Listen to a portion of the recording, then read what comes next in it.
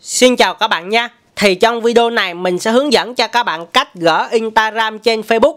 Rồi bây giờ thì mình sẽ tiến hành hướng dẫn cho các bạn luôn. Bước đầu tiên á, thì các bạn vào cho mình cái ứng dụng Instagram nha.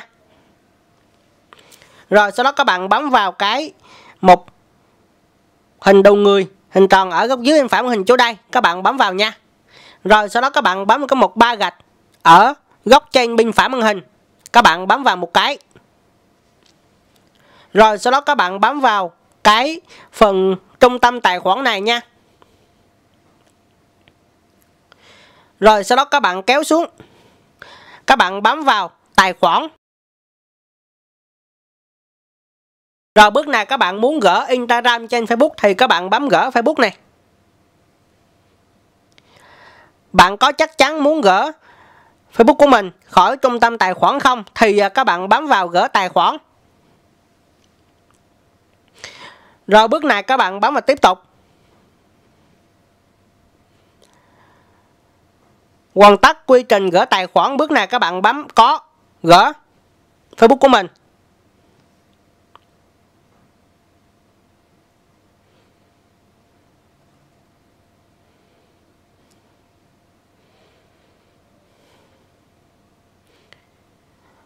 Bạn đã gỡ Quỳnh Cao Nhân là phú của mình nha.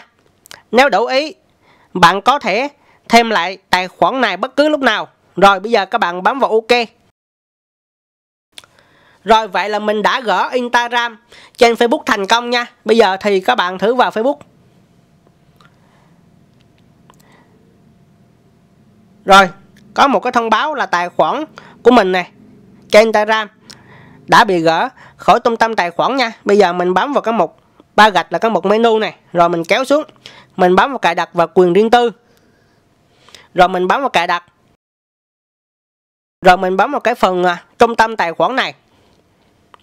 Rồi sau đó mình bấm vào cái mục tài khoản của mình này. Đó thì ở đây nó chỉ hiện một cái tài khoản Facebook thôi nó không còn xuất hiện Instagram nữa.